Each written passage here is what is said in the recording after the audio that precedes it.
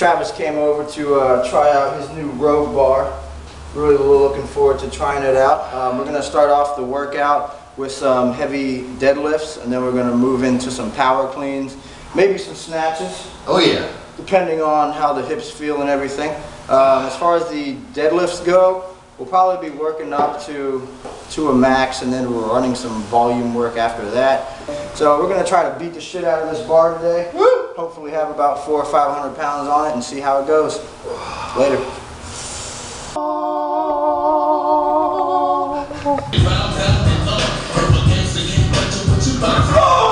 Up.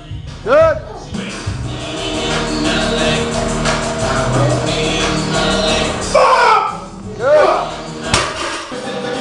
Come on. Pull that.